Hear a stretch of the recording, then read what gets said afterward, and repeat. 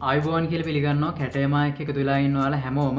ඉතිං අදගෙන හැල තියෙන ටිකක් පොඩි වීඩිය එකක්. මම ඊළඟ නිර්මාණයට පොල්කටු සකස් කරද්දි ඒ පොල්කටු මැදගන්න ආකාරය මට වෙනම වීඩියකින් ගෙනවත් හොඳයි කියල හිතුන ඉතින් අන්නේ හිද තමයි මේ පොඩි වීඩිය කරංගාවේ ඉතින් වාලට දැම් බලාගන්න පුළන් මෙතන පොල්කටු තුනක් තියෙනවා.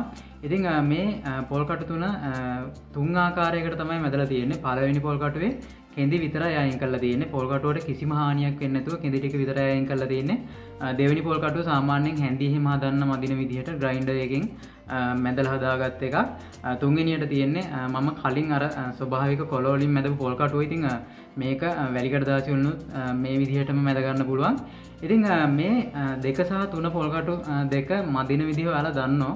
ගොඩක් දුරට පොල්කටු නිර්මාණ කරන කට්ටිය දන්නවා ඉතිං ඒක සරලයි. ඒවනාට මේ පලවෙනි පොල්කටුව ටිකක් විශේෂයි.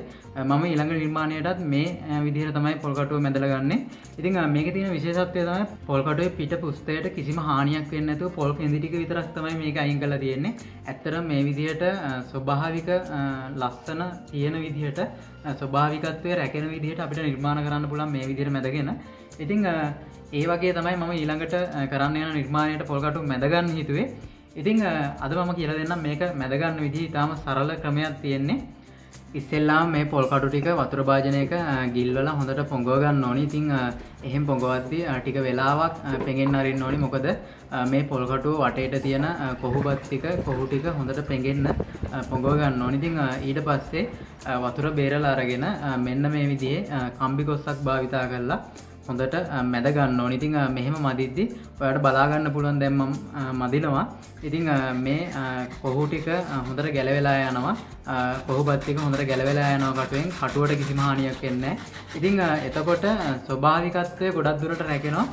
මේක තියෙන කටුවේ පිට තියෙන ගොරෝසු ගතිය ස්වභාවික ගතිය මතුවෙලා තියනවා. කොහුටික විතරක් අයින් වෙලා. ඉතිං මේ විදිහට අපිට ලස්සන නිර්මාණ කරන්න පුළුවන්.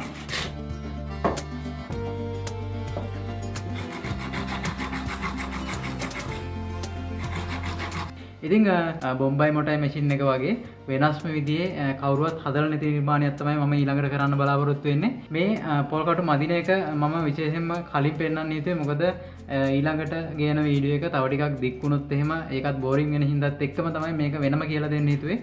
ඉතින් ඊළඟ වීඩියකෙන් අලුත් නිර්මාණයකුත් එක් හම්බෙමු. චැනල්ල සක්‍රයිප් කල තියාගන්න. වගේ බෙල්බටන එක නැබල් කල තියාගන්න. එතකොට කැටේම අලුත වීඩියක දාපු ගම් අට බලාගන්න පුලා එන අදර ගිහින් එන්න වල හැමෝටම. ජයවේවා